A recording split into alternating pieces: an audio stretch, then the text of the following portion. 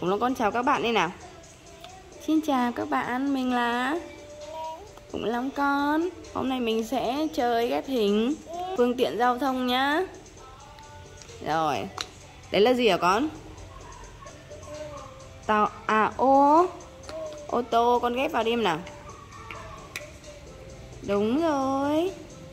Tiếp nhỉ mình lấy à cái gì đây nhỉ đĩa bay à? Đúng rồi, đĩa bay. Con con xếp là, con chú ý nhá. Con xếp ngược rồi. Quay ngược lại nào.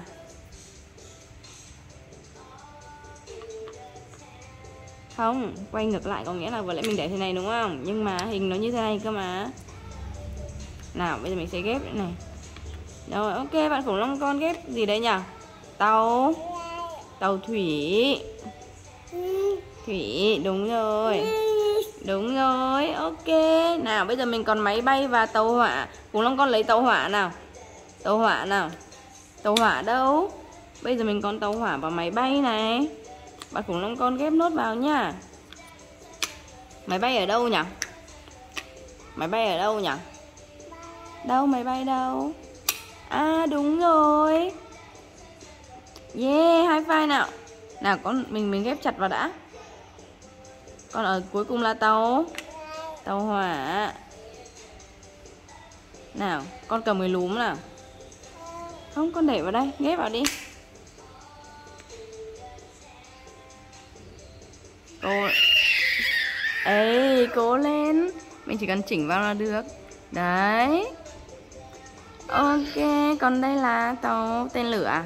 nào rồi giỏi hai phai nào yeah nào, thế đây là gì nhỉ, khủng long con ơi?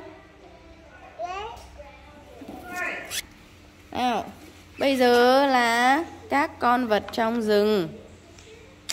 Bây giờ mình sẽ bỏ các bạn ra nha. Ok, xong rồi mình sẽ xếp lại, đúng không? Rồi, đúng rồi, bây giờ bắt đầu nào. Bạn bạn kangaroo đâu nhỉ? Kangaroo chuột túi đâu nhỉ? Chuột túi chuột túi. Con quan sát nào cho túi đâu nhỉ Yeah, đúng rồi. Con ghép vào bạn chuột túi đi. Nào, mình ghép mình ghép mình ghép vào nào. Bạn chuột túi ở đâu nhỉ? Con đặt vào đi, con cầm cái lúm con đặt vào đi.